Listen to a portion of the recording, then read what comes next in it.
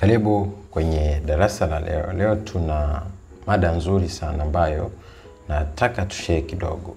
Inawezekana kwenye maisha yako umekuwa ni mtu ambaye unateseka, unahangaika na unasumbuka kwamba ni mahusiano sasa uliopo hayaeleweki kabisa. Na umeshajiuliza maswali mengi kwamba kwa nini mpenzi wangu namwonyesha mapenzi, nafanya kila kitu, lakini at the end of the day nimekuja kuambulia maumivu. Inawezekana hichi kitu kimekuwa ni kitu ambacho kimekutesa kwa muda mrefu sana, na imefikia hatua ukaanza kujihukumu, kujilaumu na kujiona mtu ambaye inawezekana wewe ndo chanzo cha matatizo, wewe ndo chanzo cha shida, wewe ndo chanzo cha kuachwa ndani ya mahusiano. Lakini leo nataka nikufundishe kwamba ukiweza kujua kanuni hii, basi nakupa uhakika mahusiano hayatokutesa tena. Ex anayekusumbua, anayekuangaisha, aliyeumiza maisha yako hatuweza kurudia hicho kitu, na kitakachotokea ni kwamba mchezo unaenda kugeuka na yeye ataanza kulia, kuangaika na kuteseka kwa ajili yako. Ishu ni simple tu, ishu ni simple tu kumwondoa kabisa kwenye maisha yako. Unapomwondoa mtu kwenye maisha yako, ina maana umetengeneza jeraha kubwa kwake. Inawezekana kwenye ulimwengu wa kawaida unahisi ah, nimeshamkatia mawasiliano, nimeshamwondoa, nimeshamnyima fursa, nimeshampuuza kwenye maisha, atarudije? Lakini nataka nikwambie kwamba mwanadamu, kitu cha kwanza ambacho huwa anakiogopa ni kupuuzwa.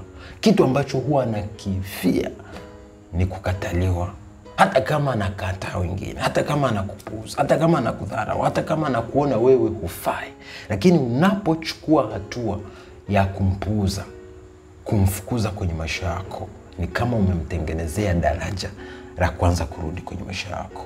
Iwezekana unateseka kila siku, unambembeleza mpenzi wako, oh my dear, I love you, I miss you, why can't you come back into my life, I feel so much love, passion to you, but why lakini nataka nikwambie, acha kumbembeleza, acha kujishusha, acha kutia huruma, acha kuwatuma ndugu, jamaa, marafiki kwamba waende wamwambie, oh, fulani bana anateseka, anaumia. Ah, be strong, be determined.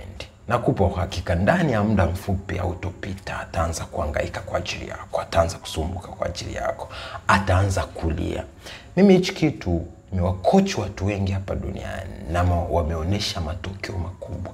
Kwa na wewe leo nataka nikwambie kwamba wewe unayeteswa na mpenzi ambaye anakuumiza, anakudharau, anafanya mambo ya ajabu kwenye maisha yako, hata usihangaike naye, mpuuze, mwondoe kwenye maisha yako, ataanza kupambana kurudi kwenye maisha yako. Kumbuka kanuni iko hivi kwamba sumaku pande mbili zinazofanana huwa zinakwepana, lakini zile zinazotofautiana, ukishatengeneza mipaka kwenye maisha yako, ina maana unatengeneza hasi na chanya, unaanza kumvuta mpenzi. Nakupa uhakika, hiyo ni simple solution, na maisha yako yatabaki kuwa ya thamani sana. Nawapenda sana, nataka mfanikiwe, muwe na mahusiano mazuri na maisha yenu yazidi kustawi usiku na mchana. Naitwa Johannes John, Love Life Coach.